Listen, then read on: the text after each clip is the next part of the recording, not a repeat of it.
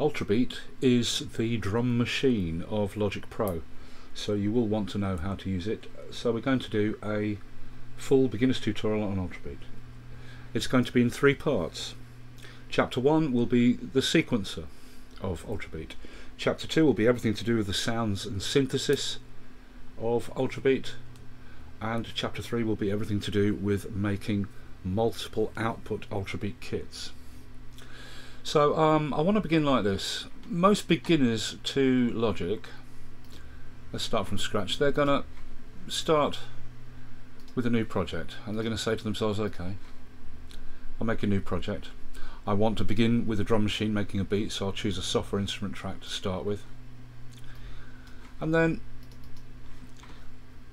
most beginners, what they will do is they will then create their instrument track, go to the library and in the library they see this category drum machines. So the beginner says to themselves well here are all my drum machines so I'll choose one of these and begin making my beat. But these are not your drum machines okay? These drum machines in the library like all instruments in the library they are channel strip presets and a channel strip preset is a combination of instrument and mix that loads all together. So every single one of these drum machines in the library is actually a channel strip preset and they are all summing track stacks like that that can be compacted and expanded. Every single one of them is a, is a summing track stack channel strip preset. So if we choose one such as this dub smash and we look at it in the mixer what we're actually loading is we're loading an Ultrabeat plus a bunch of separate outputs all set up. Specific drum voices have been assigned to those outputs and then effects processors have been applied to the outputs.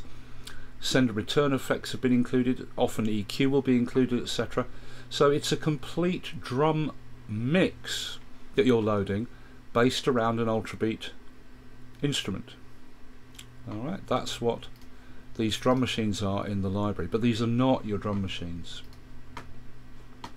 I'll show you where they are. We'll start with a fresh project. Again we'll have a software instrument track because we do want to run a drum machine an Ultrabeat but we don't go to the library. Okay? We just go to the inspector column here and on the channel strip here for the selected instrument track we find the instrument slot and this is where you install raw instruments onto an instrument track. Okay?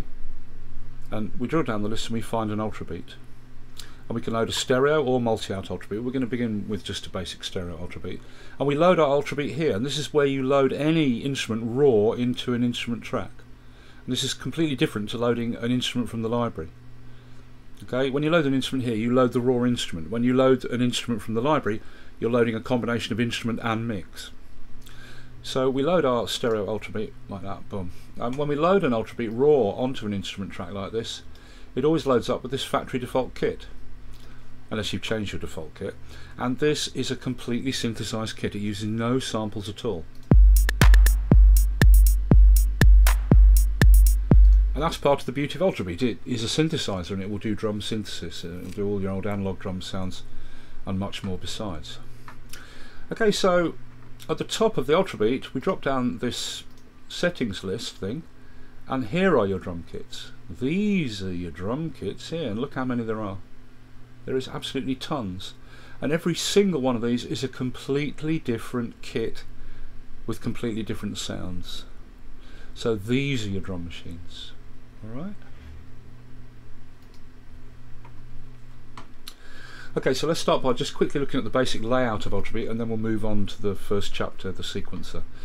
Um, Ultrabeat is divided into three sections. On the left here you have the vertical voices column. Each one of these sound slots is referred to as a voice because they don't have to be drums, they can be synth or bass sounds, they can be loops, you know, so they're called voices. And there are 25 voices in total, numbered 1 to 25.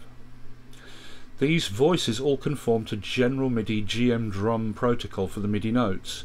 So the very first voice, which is normally the kick, is on C1 and then each voice works up in semitones C sharp 1, D1, D sharp 1, E1 etc working up to the 25th voice which is on C3 and you can audition any voice by clicking these silver piano keys next to the titles okay. Now every voice slot has a title which you can double click and rename. There's a blue slider which is the volume control for that voice. Alt left click to reset. There is a mute and solo button for the voice. There is also a pan control. And again it's alt left click to reset and recenter the pan. And then finally on the right where currently you can see every voice says main this is where you drop down a list and assign a separate output for any voice.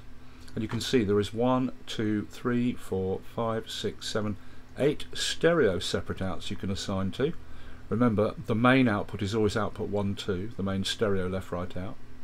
And there's a further eight mono outputs you can assign voices to.